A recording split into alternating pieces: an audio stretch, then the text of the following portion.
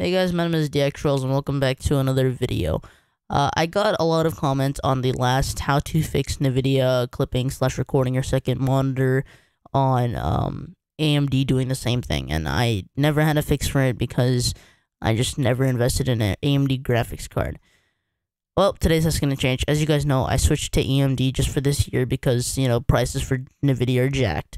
Um, essentially, this is how I've had this problem now for literally a day, and I already found a fix for it on a forum. And I don't. Um, let me search up some videos right now if there's any. Uh, right now while I'm making this tutorial, which I probably shouldn't. Uh, AMD recording second monitor. Uh, there is quite a, there's like two videos. Um, so I'm not the first to this. Um, a lot of AMD users are, I wouldn't say smarter, but they're more they tend to report problems more because I don't know, they're just yeah. But essentially what you want to do is make sure that you have the latest drivers and um yeah. So you'll know if this problem is not a monitor problem is if you open up right click your desktop and open up Radeon software and if it opens up on your second monitor that's when you know that it's a problem where you can fix it. So in order to move this little page to your first monitor, you're obviously going to move it. And then you want to close it. And then go back. Alright, it should open here. Now, if it doesn't, press Alt-Z. And then go back, it should open here. Now, in order to test if it is actually here, you want to close it and press Alt-Z. And if the window pops up, boom, that's good, alright?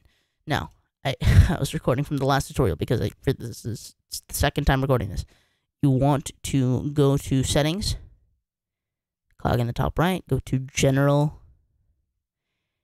disable instant replay, enable it, disable record desktop, enable it, and uh, after you do these, close out and test it. So for me, um, I need to keep you guys in check here.